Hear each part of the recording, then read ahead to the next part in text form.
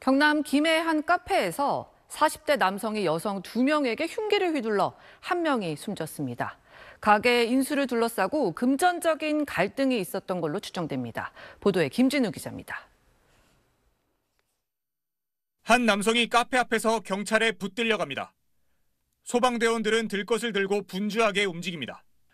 오전 9시 50분쯤 경남 김해 한 카페에서 40대 남성 A씨가 40대 여성과 여성의 지인에게 흉기를 휘둘렀습니다. 목을 다친 여성은 병원으로 옮겨졌지만 결국 숨졌고 함께 있던 지인도 팔을 다쳤습니다.